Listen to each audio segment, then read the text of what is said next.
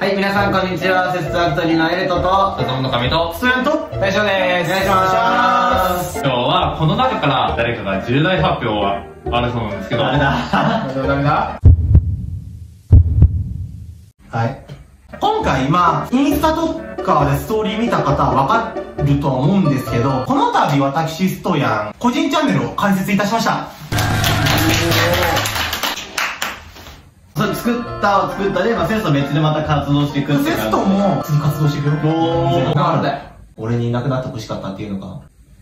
うんなんだ俺本当最初聞いた時マジびっくりしたんだけど。やってみればみたいなことはさ、うん。何回か言ったことがあったじゃない。うん。だってあなた結構感じじゃん。うん、そう。ストヤンっていう名前の通りさ、キャラが生きてない気がしたからさ、うん。個人で出せばって言ったことあるけど、あ俺、個人チャンネル開設するから、もう動画も撮ってあるから、あ、俺明日ぐらいに出すかなって言われて、えーみたいな。どんなのあげるの？なんか自分が、まあ、やりたいって思ったことで何かしらに挑戦してみたいって思ったことと、なんかちょっとこれ世に伝えてみたいなって思ったこととか、そんなことをやろうかなとは思ってる。で、それは K-POP に限らないってこと？全然 K-POP に限らない。うん。結婚やるの？ものによってはやるかもしれない。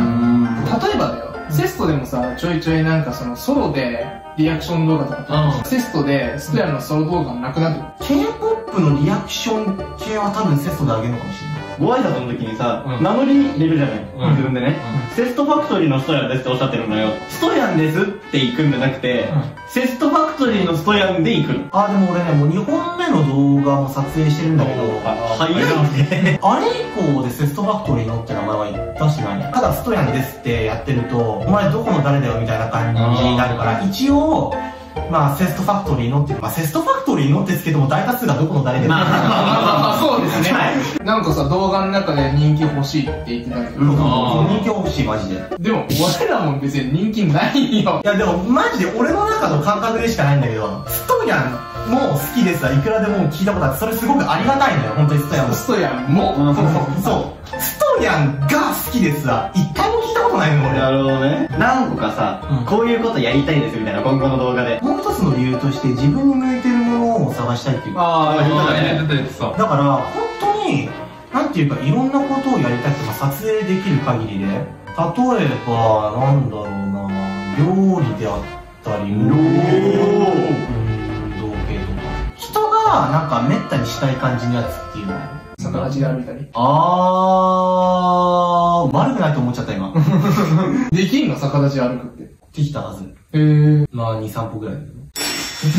動画なんねや。まあ俺出かけるのとか好きだから思いっきり旅をした時とかにもカメラ回して、あこういうところに来てみますみたいな。まあこれはやりたいこともそうだし、世に伝えたいっていうのもあるかな。のこういういいところがあるんだよって。そうそうそうそうそう。徐々に徐々にだけど、だんだんコロナが落ち着きつつあるじゃん。ね。で、また外国の人たちもまた改めて来たりするじゃん。だから世界中の中には、やっぱり日本に来たことのない人がいっぱいいるわけよ、それはそれは。こういう綺麗な場所があって、日本に来た時にはこういうところに来るのがおすすめですよっていうのはちょっと伝えてみたいなってやなんか思った。で、あれか、あの、フェイマスじゃない、ちょっとさ、ろところとかを、あの、発信していくのね。だからまあ有名なところも撮るし、だからそういう隠れた何々みたいなのもやっていきたいなとああ、思なるほどね。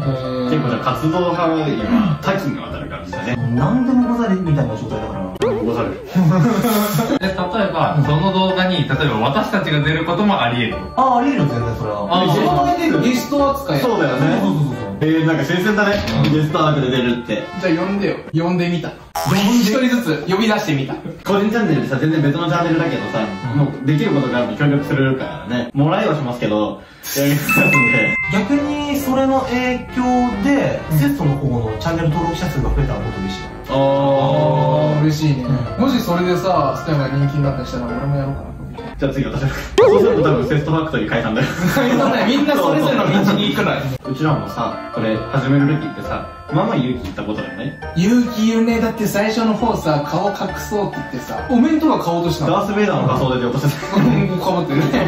こうさ、いるから、メンバーが。だからなん。となく気軽にできる面もあるじゃない。まあね、ちょっと流れに乗れたってのは。うん。そうね。で、ソロ動画とかも出したけどさ、正直結構ね、緊張緊張するしさ。いや心の細さとかもあるじゃん。それをこうまで一人でやっていこうって決めたのはさ、うん。すごいよすねごいよね。そのメリットもあるけどね。こう4人だと集まるのが大変ああ動きやすいんだもう好きな時にできるって感じだから。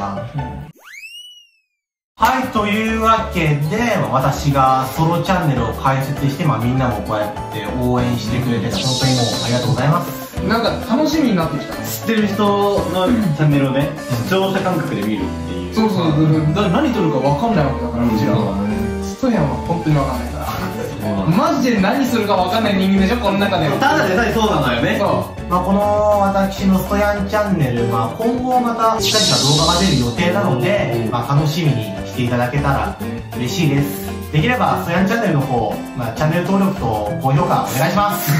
欲張りだね以上、セストマートでした。ありがとうございました。